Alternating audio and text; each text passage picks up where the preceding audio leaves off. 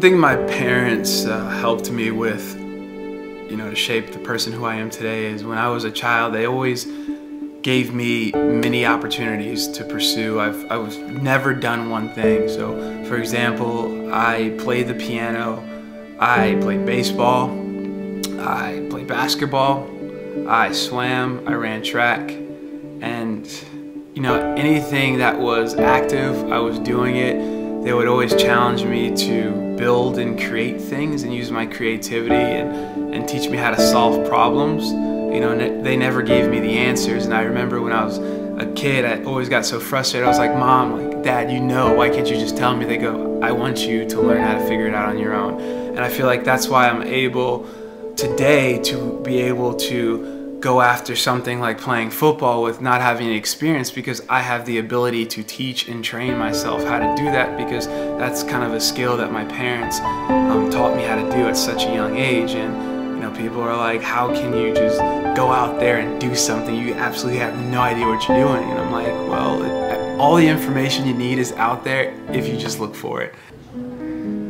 A few people out there that knew the path I was pursuing would would say other things instead of encouraging me. They would, you know, tell me it wouldn't be the right thing to do or it's not in my best interest interests or they wouldn't help me go towards my goal and one thing I would say is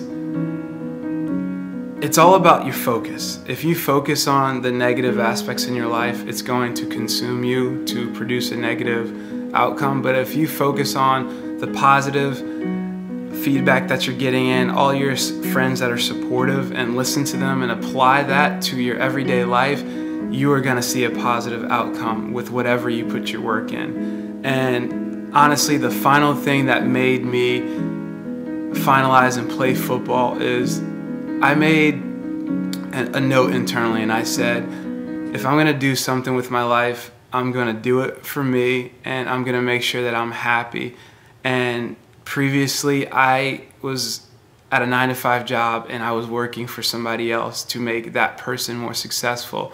And I felt like I had no purpose. And I said, if I was to die today, what did I accomplish?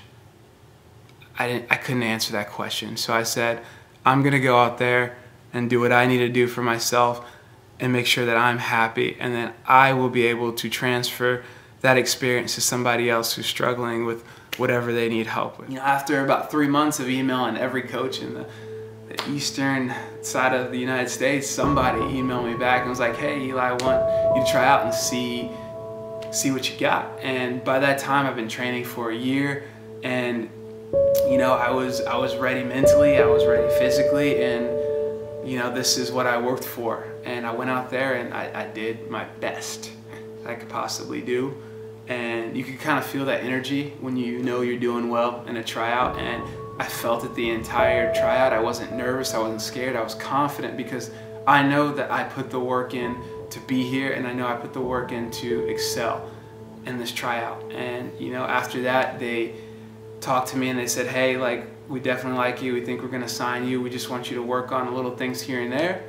And, you know, I'll see you at training camp. And, you know, I, I was in tears because I was so proud of myself that, you know, I actually stuck with it, you know, because there were so many times where I wanted to quit and give up because people made it seem like I was insane or I was crazy or I was out of my head because I never played football before. I mean, think about it. What would you do if somebody told you they wanted to be an artist and they never sung a song their entire life? You would be like, you don't have the experience.